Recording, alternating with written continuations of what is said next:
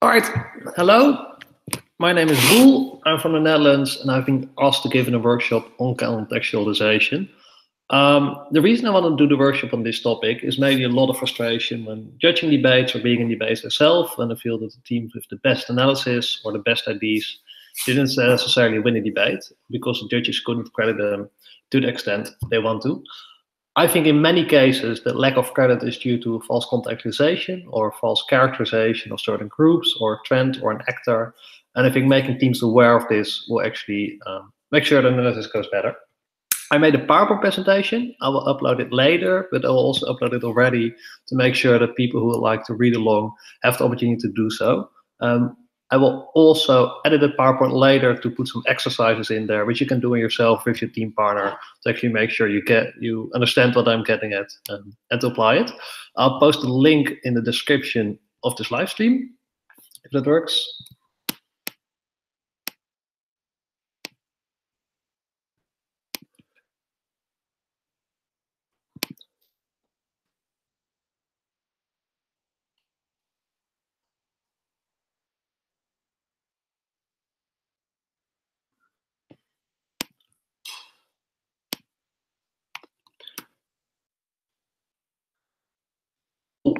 So now the link should be in there. In case you have any questions um, or like to elaborate, me like to elaborate on something, please let me know. Um, there should be a live chat next to the video where you can ask these questions. I will check that and make sure everyone can actually uh, ask the questions. Cool. Please let me know. Uh, there should be a live chat. That's it should be muted. Cool. All right, let's start. So as you can see in the context slide, which is the first part of the presentation, there are a couple of things I want to look at. Firstly, I want to talk about what specifically I mean when I'm talking about contextualization or characterizations, why I think they matter and what the use is. Then I want to talk about what to contextualize, and we'll basically identify three broad, three broad categories there in terms of contextualization. Uh, I will then explain how for each of the contextualizations you should be able to categorize the last part is um, are some other things to keep in mind when it comes to contextualization in debates.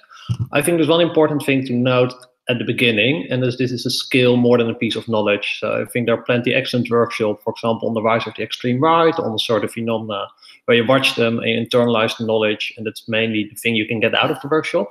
However, in this kind of workshop is mainly a skill. I want to make you aware that it's a useful skill to have, and I want you to be able to practice the skill. Um, but it means this workshop should be seen more as a starting point or a broad education rather than having a uh, rather than creating knowledge that you should keep with you. Um, that's also why I'm put in a lot of exercises. If you have any questions or you've done an exercise or you'd like to know more about it, uh, please contact me. I would love to chat about it. Um, I will put my email in the presentation, but you can also uh, just approach me over Facebook and it should be fine. So the first category, contextualization and characterization, what are they and why do they matter? So I think the first thing is in terms of technology, I think there are some subtle difference between contextualization and characterization, but other people uh, are much more qualified to discuss the nuances about that. I'm mainly going to use them interchangeably um, because I don't think there's a structural difference, but I do think people refer to both and they mean the same thing.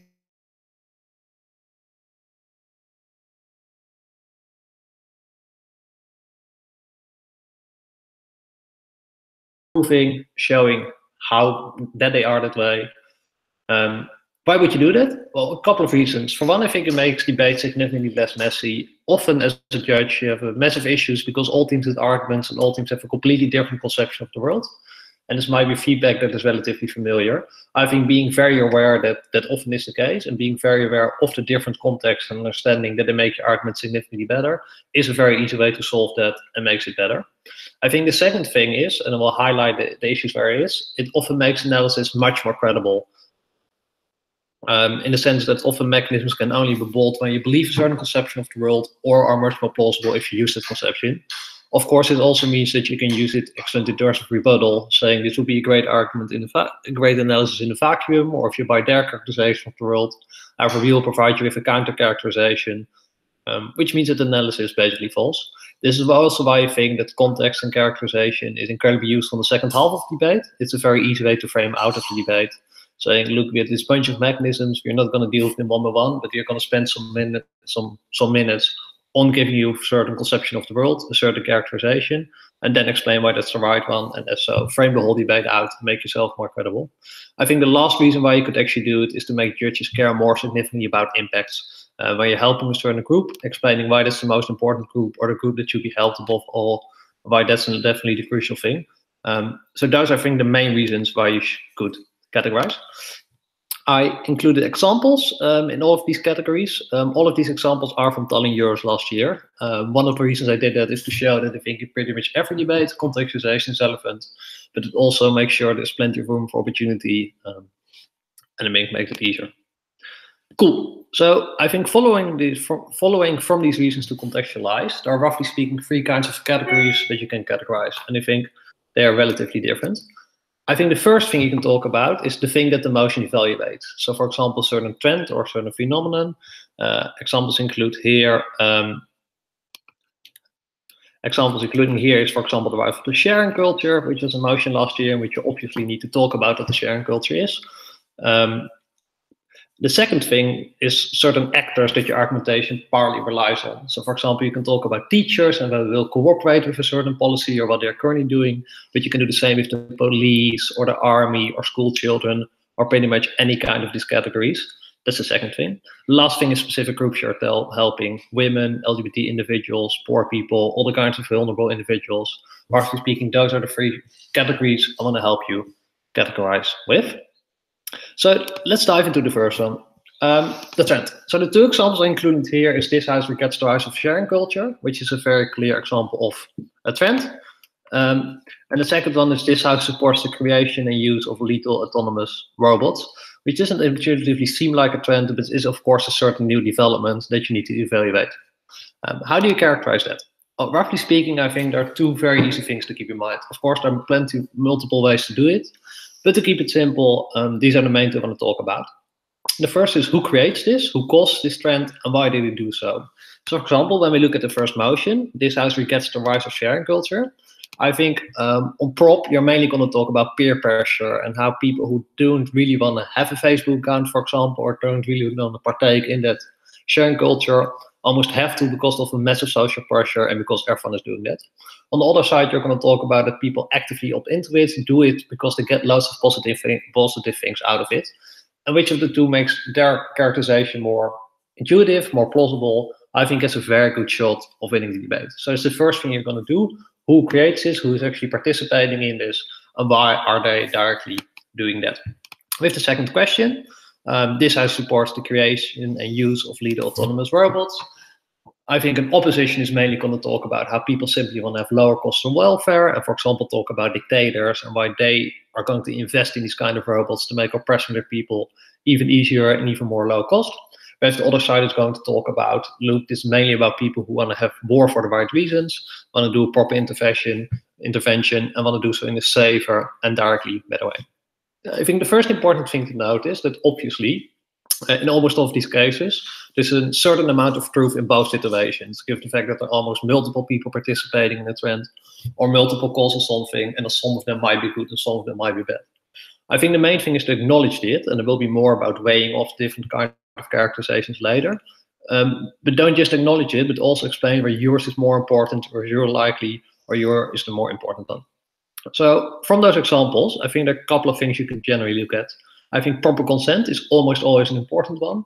So also, um, whatever the trend is, whatever the thing is you can discussing, I think at the moment you show that people, regardless of whether they want to, have to participate in a trend and have to partake in something, even though they don't want to. Um, that's a good, very good way of showing that's a, probably a negative thing that we are evaluating. Um, and the same goes for accountability. At the moment you show that a certain development leads to complete kind of unaccountability. So, for example, that the people deploying these killer robots aren't properly being held accountable, that they can do with them what they want.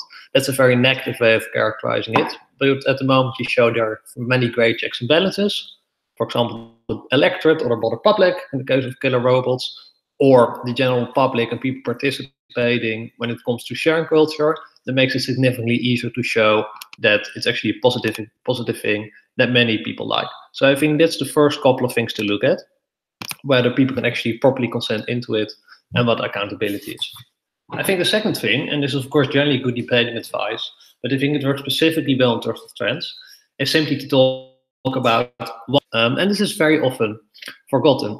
So I think the sharing culture is a very interesting question because um, well, you have the very um, easy example of people having made paintings of themselves. It's also a more crucial example, for example, diaries and people meeting up with their friends.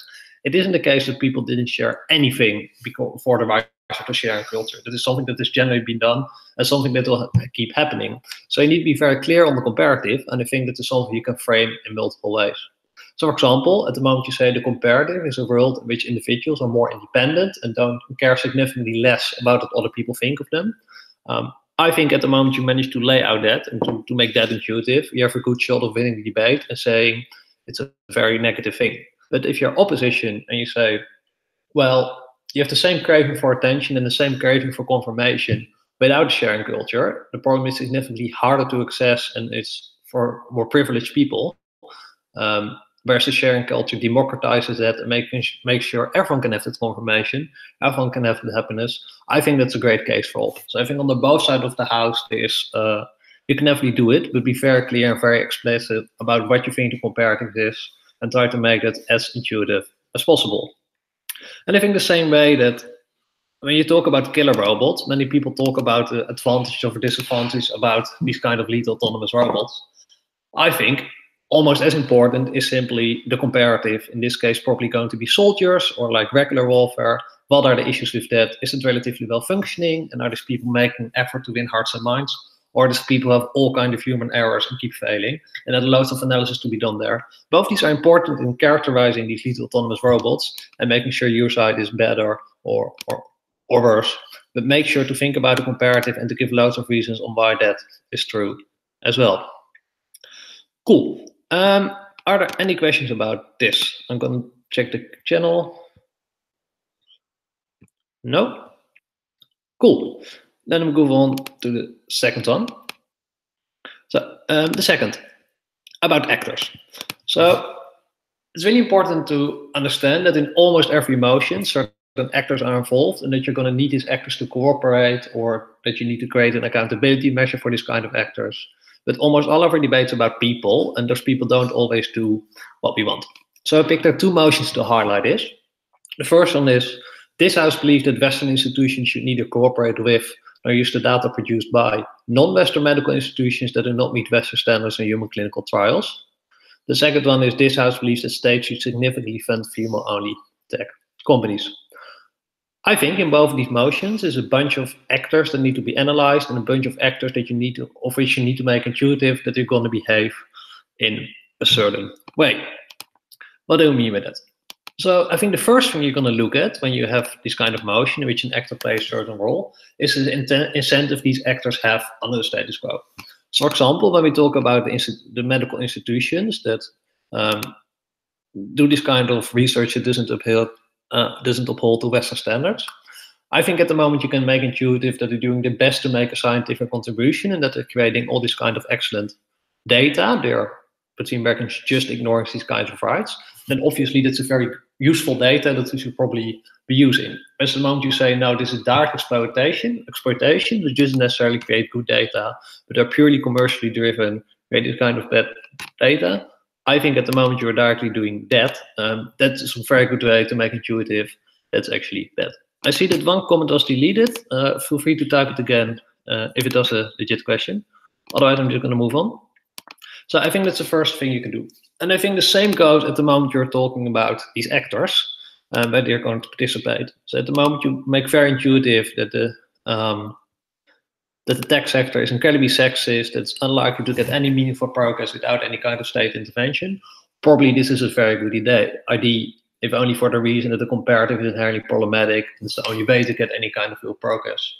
As at the moment you say, look, currently it's going relatively well, and we're having a relatively proper kind of development, a proper kind of process towards a less sexist tech sector, then your harms, for example, women being drawn to these companies from other kind of companies, are going to be made significantly um, significantly more important and significantly more intuitive.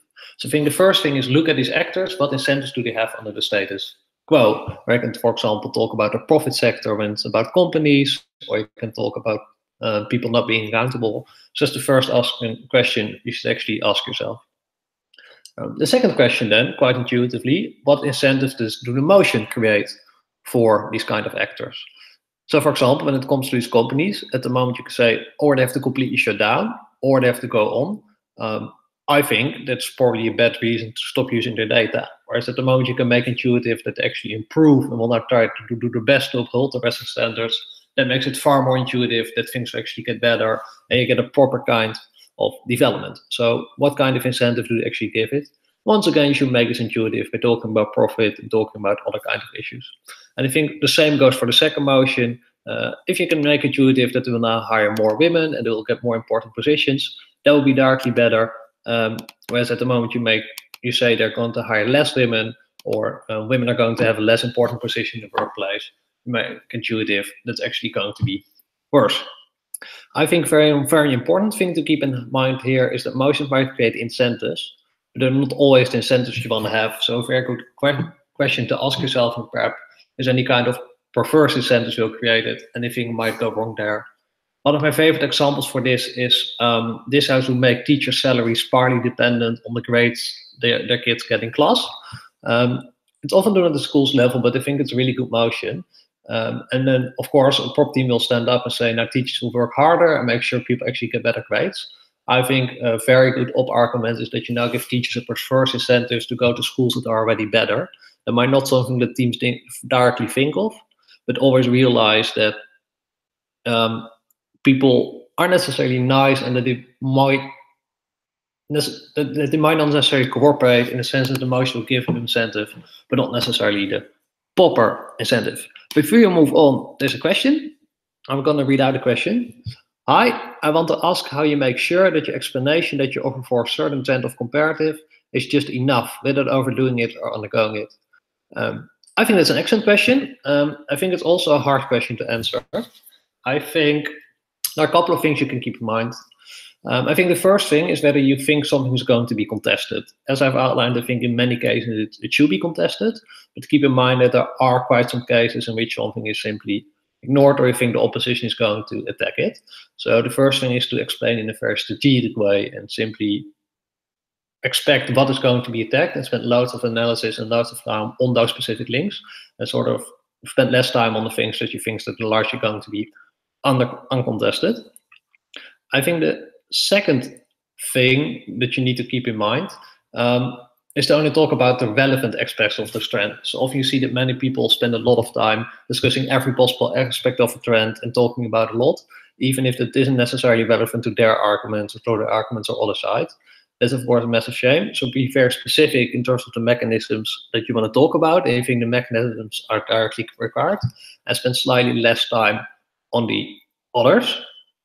Um, so definitely those two things to keep in mind.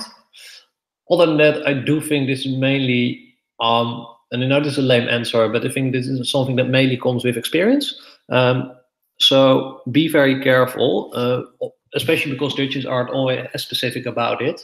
But try to get a grasp of in which debate you did prove your context to a significant amount, and in which you debate you didn't prove your context to a significant amount. This will probably help you build up the experience. I think the analogy here is with the analysis you need to provide for every argument, and you see freshers heavily over analyzing or heavily under analyzing almost everything. Whereas at the moment you get more experience, you start to develop a certain feeling, certain intuition on when you have properly explained something, and when it actually needs more analysis. I think you should actually get the same for context and characterization.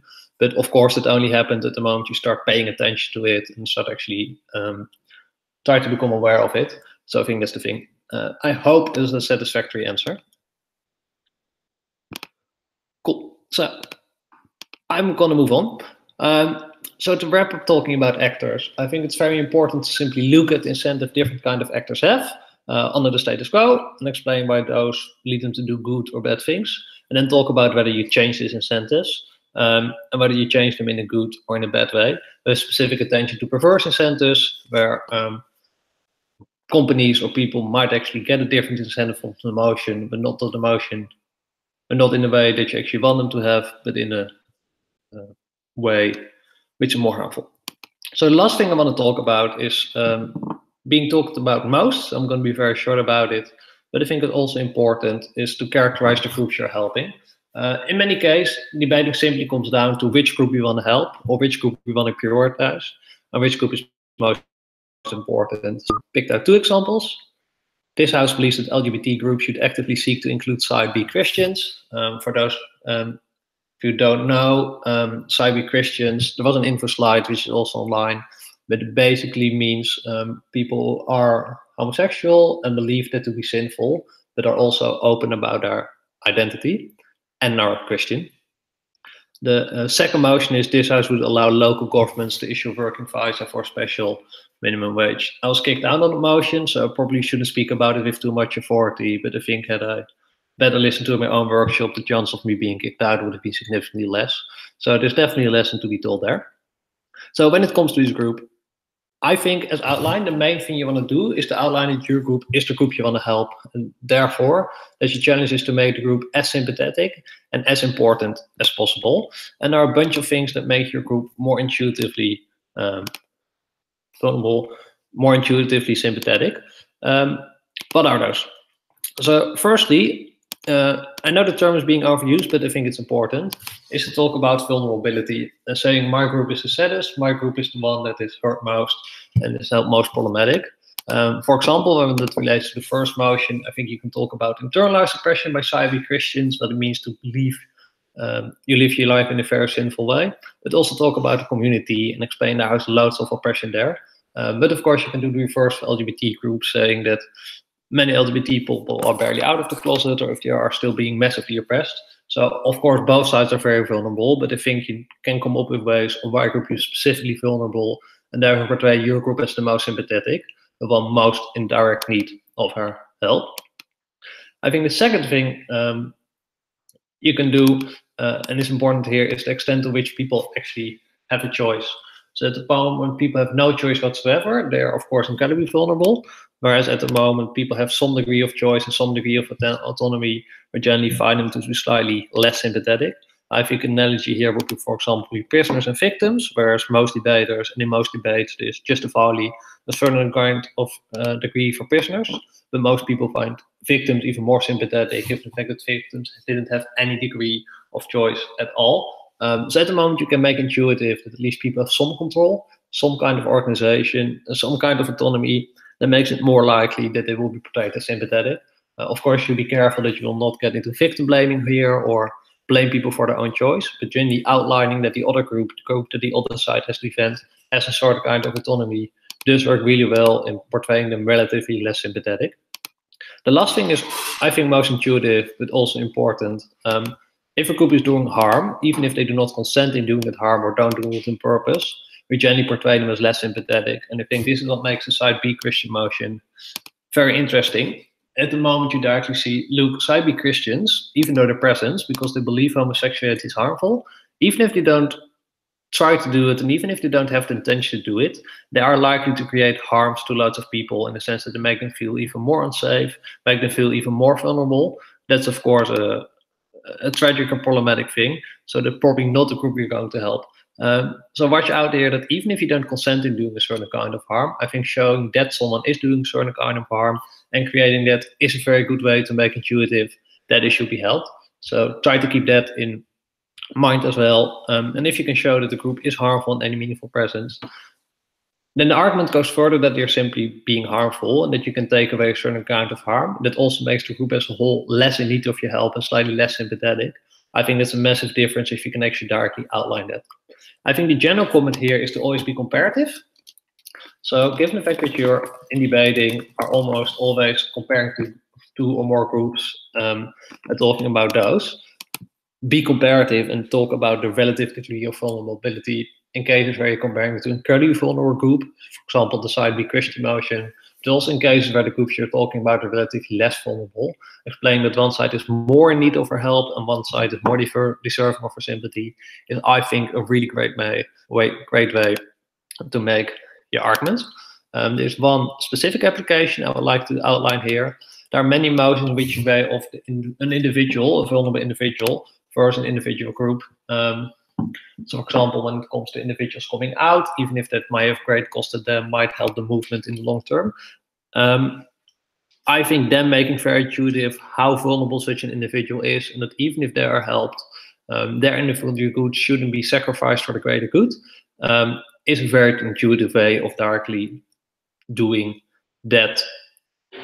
Open clear here. So basically to talk about basically the argument about sacrifice, which say, look, the cost we are inflicting upon this individual and what we're doing to them is completely unjustified, is something that we can do, even if the progress on their side is so great. I think especially running that kind of analysis and that kind of argumentation, which is being done relatively often, it's very important to outline how big the harm to them is and how much sympathy we should have to them and why they are the most important group. Cool. I'm going to look whether there are any questions. No. Not yet. Cool. Then, um, yeah, uh, I was once told that a good workshop should never take more than half an hour. So that was I've been sort of aiming towards, and it looks like I'm gonna make that. Um, so I think those are the three categories in which you actually should and could contextualize. One talking about a certain trend or a certain phenomenon. Um, one talking about certain actors, and three uh, talking about groups you're helping and portraying them in the most sympathetic way. Then there's a bunch of remarks which you think are very often forgotten, especially by slightly more experienced team who know they need to contextualize and know need to characterize, but aren't doing it properly, um, which you want to talk about. So I think the most important thing is that you don't shouldn't just set up your own context or your own contextualization, um, but there are a couple of other things you should do as well. Uh, and these apply specifically in better debates, but I think they also apply in others. Ah, I get a very useful request where I can talk a bit, little slower. Um, I'm going to try that. Yes. Um, so the first thing um, you should always forget is that you shouldn't just build up your own. Uh, that you shouldn't just build up your own characterization and make that one intuitive, but also reboot the one of the others and actually deal with them. And I think a couple of very intuitive ways you can do that. I think the first one is actually look for inconsistencies in their characterization. Um, it's a bit mean, but groups are of course very different and very diverse.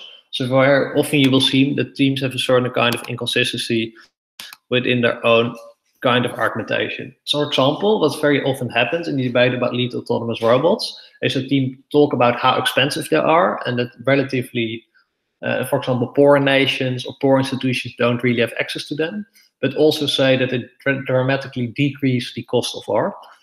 I think you can say there's definitely a tension in there. Like either the costs are relatively low and most people can access them, or the other is true and the costs are incredibly high, but it also means that people aren't necessarily going to use them to plunge into war. So probably one of the two is true. Uh, one of the two is true, but pointing out the inconsistency and saying there is a certain kind of a certain kind of inconsistency is, I think, a good way of um, dealing with another side's characterization and explaining why it's not necessarily most intuitive one and why yours is more intuitive. I think the second is to be very explicit in terms of to make a very explicit comparative in terms of credibility. So, and this often goes wrong where people say, look, there's a tension in their characterization of this is the issue with their contextualization, but don't do the next step of that argument, which explain why theirs is better. So I think the best way of actually doing it is saying, look, opposition at the same time says, um, at, at the same time says that these kind of lethal machines are very expensive and they're inaccessible, but also that it massively lowers the cost of war we don't think no necessarily can be true. We gave you far more plausible characterization, being this, this, and this one. Um, also notice that it works really well in terms of second half. It is a knifing because both can to a certain extent be true uh, on the both sides, or you simply call it an even if. But it is a very good way of showing that you are the better side of the debate, given the fact that you actually have a consistent characterization, whereas the other side doesn't. So I think making that expect, uh, making that comparative very explicit is a very good way of doing it. And I think the third one in general, when you rebut a certain one, being incredibly explicit. I think the best speeches often start by first I want to deal with their characterization. Don't try to integrate it or just say in your rebuttal, but say that you're going to deal with it very explicit is a very good way of doing it. Um, why? Well, because many judges don't really pick up on it. Like the whole point of this workshop is make you aware that you should talk and think more about characterization than we generally doing. And I think this also applies to judges who often let it factor into the judging, but then aren't making very explicit or aren't aware of the role it directly plays.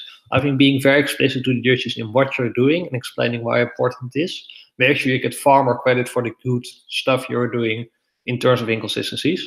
Um, so I think that's a piece of advice in terms of dealing with the kind of uh, inconsistency, dealing in the kind of the inconsistencies, make a very explicit comparative, and generally look for inconsistencies. Cool. Uh, I have a couple of questions. Um, I'm going to start with the first one. What is the role of contextualization within second speaker speeches? How much can you do it in a whip speech for a standard in order to emphasize the importance of an argument? I think that's a really good question. Um, my answer to that, so when it comes to deputy speeches, of course, any kind of new material is allowed. Uh, and I think deputy is one of the best speeches to do lots of contextualization in. The reason for that is that uh, the PM gives a lot of material and the low bunch drops a lot of material. Uh, and then, of course, judges have a very hard time identifying it.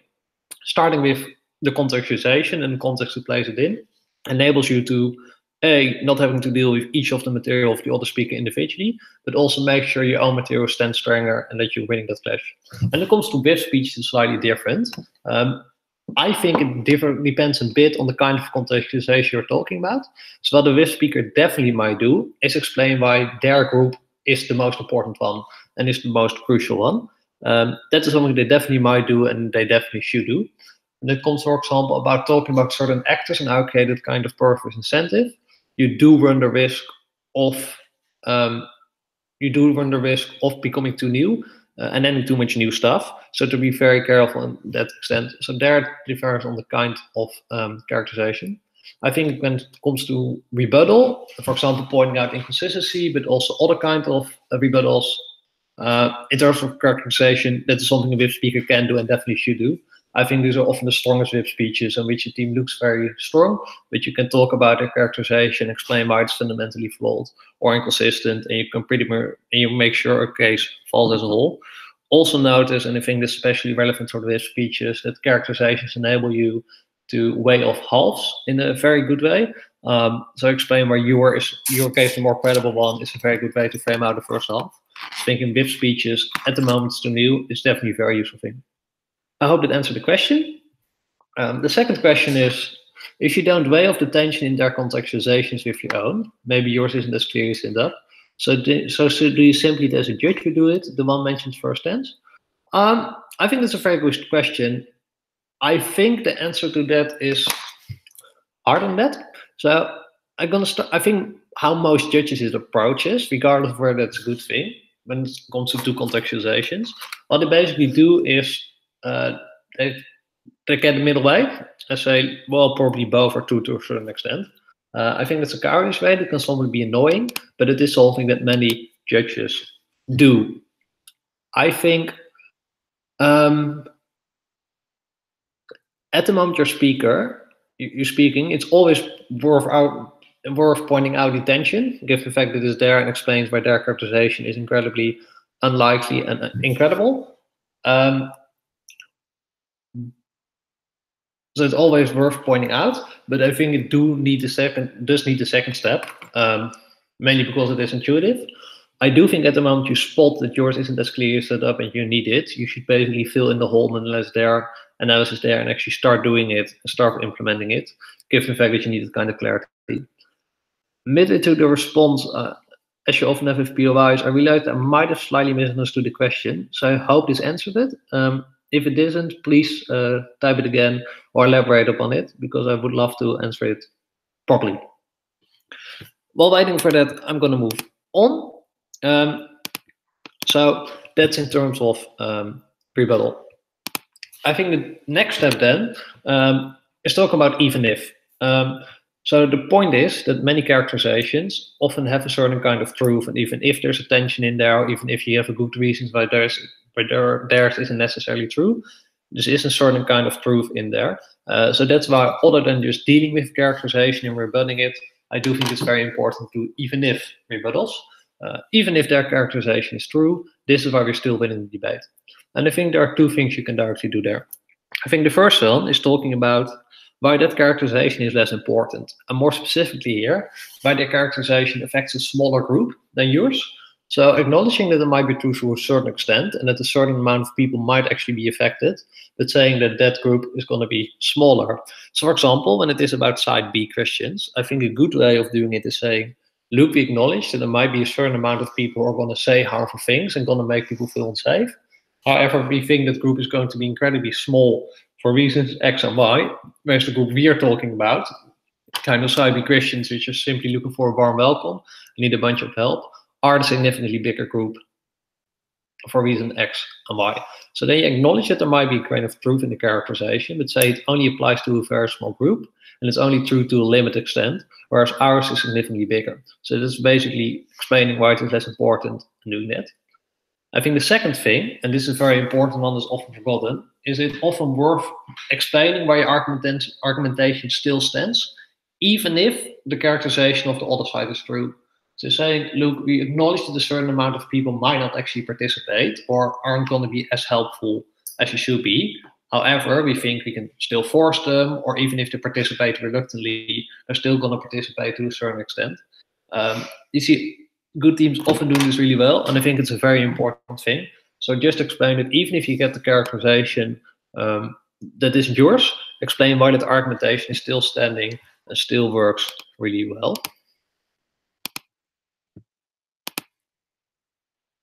Cool, yeah, um, excellent. So the last thing, relatively intuitive, I want to talk about is weighing. Um, so like everything in debating, I think characterizations have to be weighed. And I think coming back to the question I asked earlier, especially in with pieces is important. At the end of a really good debate, often multiple characterizations will be true. That's to say that it might apply to different kinds of people or in different situations. Um, then, of course, you need to weigh them. And I think there are two things you can weigh them on. This might sound intuitive, but they're often being forgotten and they are being very important. I think the first thing you want to look at is plausibility. Uh, explain, look, ours is more uh, ours is more plausible for reasons X and Y. This basically comes down what I've said before, but I think it's worth mentioning explicitly um, that it's useful to weigh off certain kind of context and explain why yours is more plausible, and therefore the more important one, the one you should care more about. The second one is a bit new, but I think you can talk about the consequences of a certain characterization being true and use that to weigh them. They're saying, look, it might be true that some teachers aren't going to participate. We don't really care about it, given the fact that we don't think there's a lot of harm in it. However, at the moment they choose to do choose to participate, there are massive benefits here and talk about that. And I think being aware of this also helps you making your own arguments because you then realize that you don't only need to explain why your characterization is the right one, but also why that is so important, why the consequences are either really beneficial or really bad at the moment people don't listen to it. Uh, so I think that's uh, an important thing to do. Um, sorry, I got some background noise here. Um, excellent. So I'm going to check if there are any more questions and then probably rehab. So, as said before, I think there are roughly speaking three kinds of broad categories you can characterize. The first thing you can do is evaluate a certain trend. And you're mainly doing that by the actors involved, looking at the actors involved, why they're doing, who are doing this and why.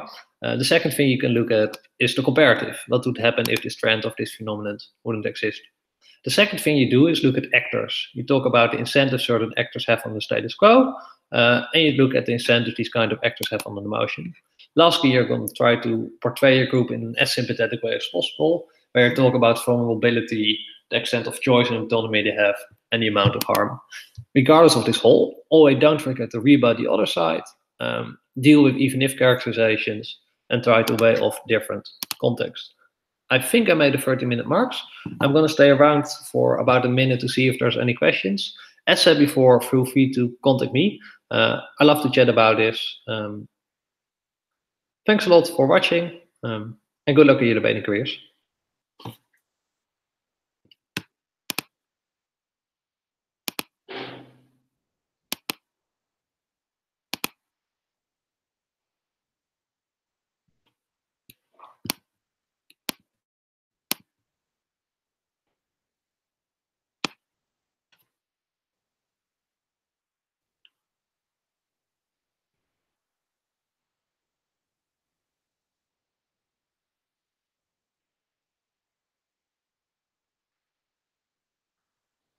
So it looks like there are no immediate questions. In that case, I'm gonna stop broadcasting.